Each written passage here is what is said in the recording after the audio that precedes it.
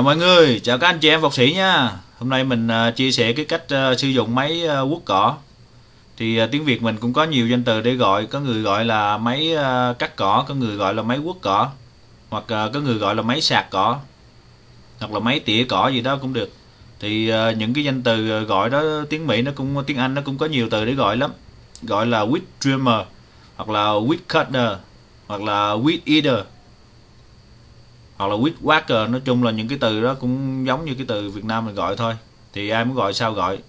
Mình thì mình muốn kêu là máy quất cỏ. Để mình à, phân biệt dễ phân biệt cái máy cắt cỏ cái loại bự kia nó khác ha. Có lưỡi dao đó cái máy bự kia nó khác. Cỏ này là loại cầm tay nó có hai cái dây nó nó quất ra thôi.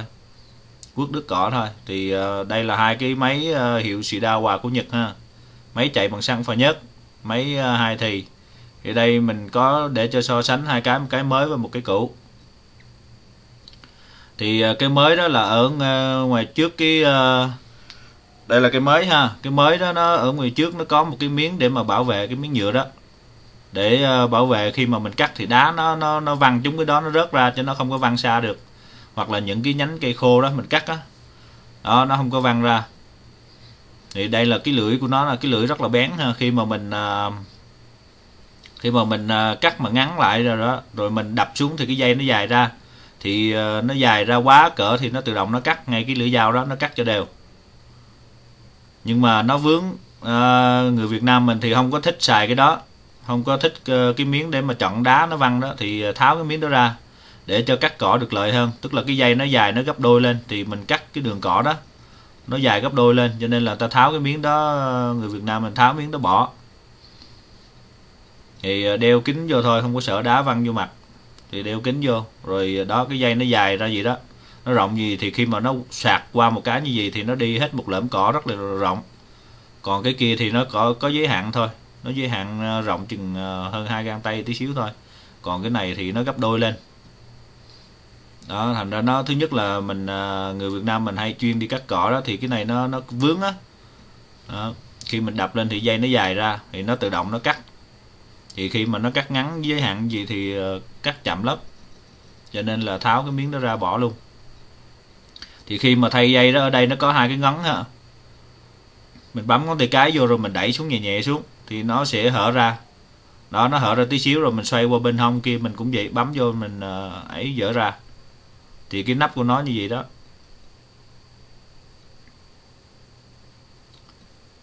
Nắp nó có cái lò xo đó rồi trong này là một cái cuộn uh, cuộn dây cuộn dây cước. Thì mình uh, tháo cái cuộn dây cước ra để mà chia sẻ với cái cách uh, cho anh chị em xem cái cách để mà quấn ha. Có nhiều người xài hết chứ không biết cái cách quấn dây nó vô sao hết. Ở đây thì nó có cái dấu mũi tên nè từ giống như kim đồng hồ ha từ trái qua phải. Thì khi mà mình quấn cái dây vô mình cũng theo chiều đó mình quấn thôi. Quấn theo chiều kim đồng hồ thì ờ, nó chia ra ha, cái ống đó nó chia ra làm hai. Đó, nó chia ra làm hai phần thì ờ, một bên mình quấn ờ, một dây mình quấn một bên. Không có cho dây kia lộn qua dây nọ nha. Quấn qua gì là khi mình đang cắt nửa chừng, mình đập ra, nó chạy ra, nó bị kẹt dây á. Nó không có ra nữa, mất công phải tháo ra làm lại. Cho nên khi quấn vô thì để ý một chút. Hai dây nó nằm bên hai cái khe khe ấy đó. Ờ, mình sẽ ờ, tháo ra luôn và mình ờ, quấn lại từ đầu cho các anh chị em xem cái cách quấn luôn ha. Dây cước thì mình đo khoảng chừng hai sải tay. Tùy theo người tay dài tay ngắn ha, nhưng mà như mình thì mình đo khoảng hai sải tay là vừa vừa cái ổ đó luôn. Thì đây nó có một cái lỗ nè. Đó, hai cái khe, thấy không? Hai cái khe hai hai bên đó. Thì để cho hai cái dây thì mình à, rút đút cái dây vô cái lỗ. Rồi mình à, chia đều ra làm hai ha. Mình cầm hai cái đầu đó mình chia đều ra.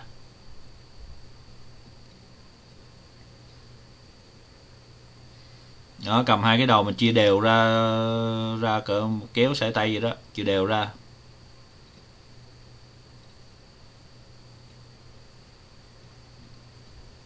Rồi khi quấn thì đó, ngay cái chỗ đó mình à, cầm ngay cái dây nào đó thì mình coi theo nó ha. Mình lật lên mình coi theo cái chiều kim đồng hồ nó chỉ đó, nó chỉ cái mũi tên đó, thì mình quấn theo cái hướng đó. Thì à, cái dây nào đi theo cái cái khe bên đó ha.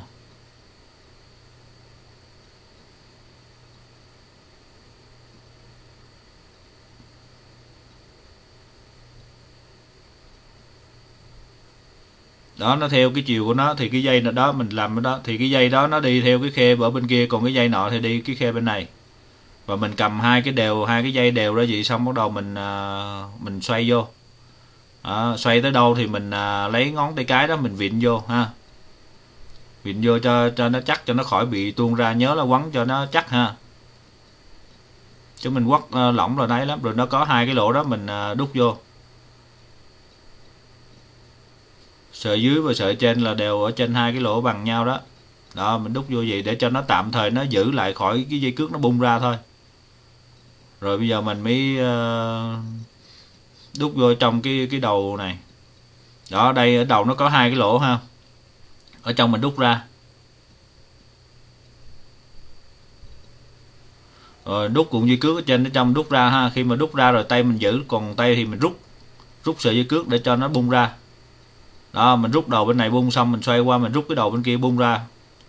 Cho nó vô đều rồi sau đó mình đậy nắp lại thì cái nắp khi mình đậy mình cũng để ý cái ngàm ha. Đó nó có cái ngàm ngay đó đó. Mình để vô cho đúng cho đúng cái ngàm vào khi mình đẩy vô mình nghe nó kêu cái kích ha đó rồi mình kéo hai đầu mình kéo ra. Rồi cho thẳng như vậy ra là là chắc ăn là mình là cái dây đã chuẩn bị uh, sẵn sàng là cắt rồi đó.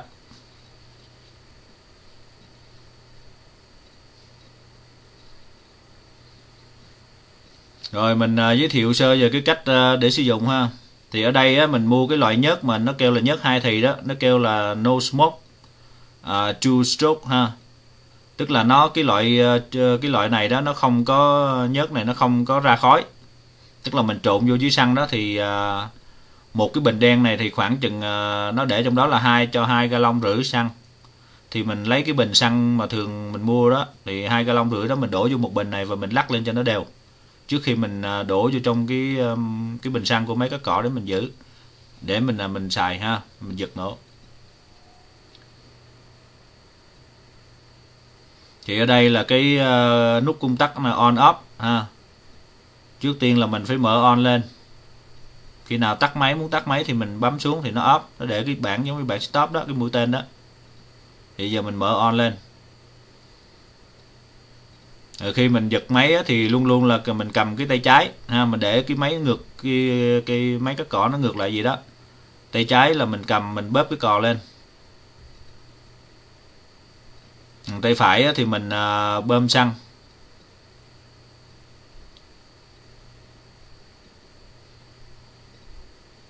Đây là cái buri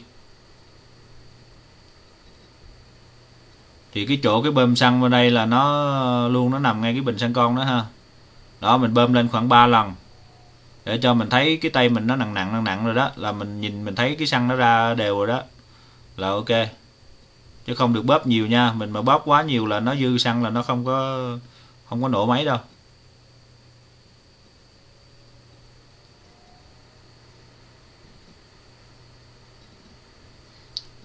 Rồi ở cái uh, chỗ bên hông của cái bình xăng con đó, nó có một cái chốt màu đỏ. Và nó ghi cái chữ mà chốt đó giống như chữ H rồi có cái gạch ngang đó. Cái đó là là mở chốt ha. Ờ, đóng chốt. À, đóng chốt.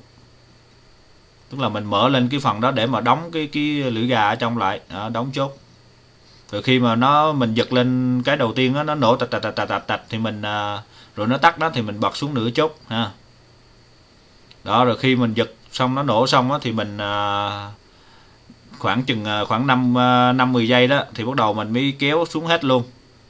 Cho nó nó đầy đủ nó bơm hơi đầy đủ lên xăng đồ đầy đủ lên hết. Thì lúc đó mình sẵn sàng để mà mình uh, cắt là mình bật xuống uh, uh, off chốt hết đó. đó khi nghe nó tẹt tẹt tẹt nó nổ gì rồi ha mình mở xuống nửa chốt ha kéo xuống nửa chốt. Giật tiếp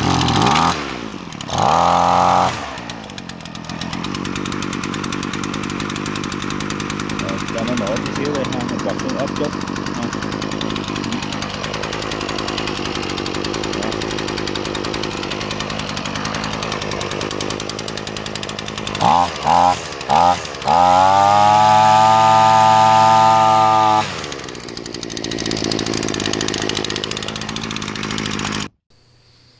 khi mà mình đang cắt á, thì ờ, mình cảm thấy cỏ nó đi ờ, nó ăn ít rồi đó là mình biết cái dây nó ngắn rồi thì mình đập xuống.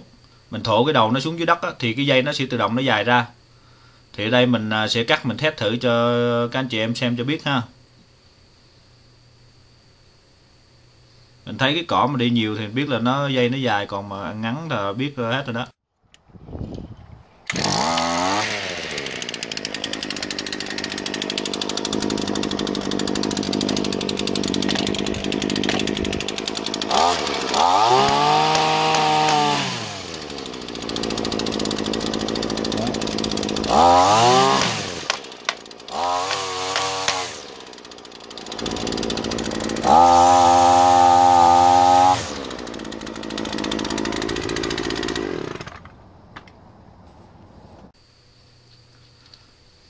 Thì mình thấy uh, cái dây uh, nhiều khi cái dây mình không có được uh, làm dài quá ha. Nếu mà mình đập cho ra dài quá là nó sẽ bị quấn ở trong cái đầu lại. Nó quấn lại là nó cắt không có được. Cho nên là mình uh, canh canh vừa thôi tức là nó vừa ngắn ngắn tới đâu là mình uh, thổ xuống tới đó cho nó dài ra vừa thôi chứ đừng có nên uh, để cái dây nó dài quá. Nó sẽ quấn vô cái đầu và nó không cắt được cỏ. Rồi video tới đây là hết nha. Chào hết mọi người nha. Bye bye. See you ngày mai.